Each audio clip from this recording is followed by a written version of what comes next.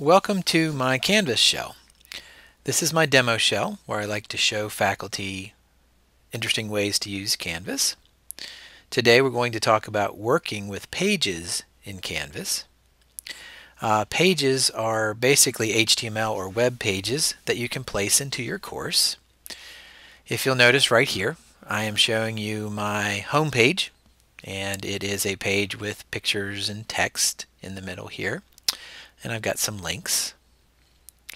If I click on the Pages menu on the left side of the course and then click View All Pages, this blue button up here, I can get a list of all the pages that are in my Canvas course and I can look at some other pages.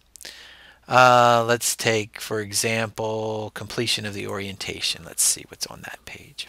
Okay, so here's another page. Okay, you'll notice you can bold, you can make links. Let's, check one more page out. And I think I have one with a video in here too. So let's see.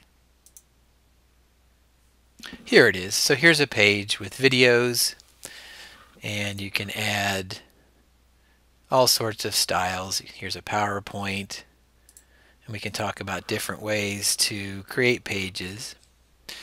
But really, this is the heart of, and these are just different styles of power, PowerPoints and different ways to edit.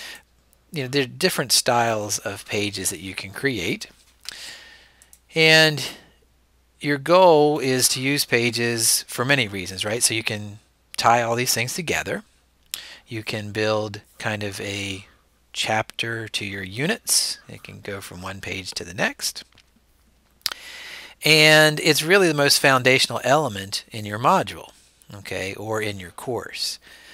Uh, another reason we like pages is that they absorb the system style guides. Now, you may not think that's really exciting, but the style guides are what keeps things compliant with um, uh, ADA compliance, and also it, it makes things unified for the user. So you you do, you can think less about is my design you know clear to the students, you've got a kind of a standard format. And then I also talked about ADA compliance. So let's talk about that a little bit. So when we're talking about ADA compliance, it's important that we know what it is.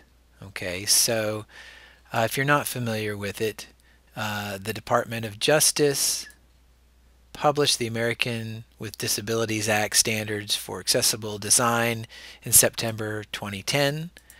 Uh, these standards state that all electronic and information technology must be accessible to people with disabilities.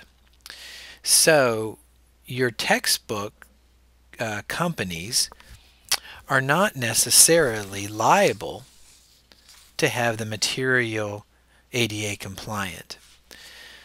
And so if you're teaching online, you and the school are going to be the you know justifier of whether the stuff is ADA compliant or not. So you want to be careful.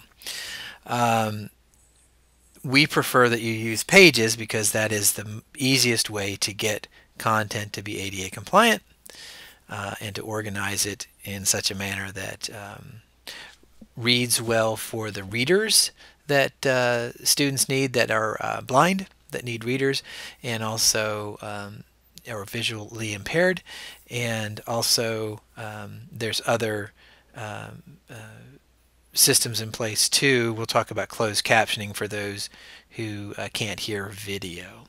Okay, uh, but you need to make sure that your uh, work is ADA compliant and so Pages is a great way to verify that just using Pages and you actually have what's called an accessibility checker in Canvas. Let me show you that.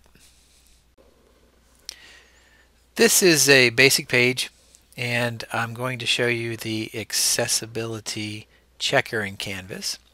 So to do that I'm going to click on edit and in this particular page uh, you'll notice um, I can now edit, I could type anything in here. And I'm going to talk about this in a minute, but it's this little check accessibility button that I want you to see. If I click on that, notice it checks everything, the links, the pictures and everything, and it gives me this report that no accessibility issues were detected. Okay, that's our goal. Uh, Canvas's accessibility checker is good. It's not perfect, um, but we're trying to give you ways to, to get closer to that goal of accessible pages. Okay, so um, let's move forward. And as we're creating pages today, we know uh, why we're supposed to be using pages. And now let's create some pages. So I'm going to go to a page and do a quick demo uh, because pages are your canvas in Canvas.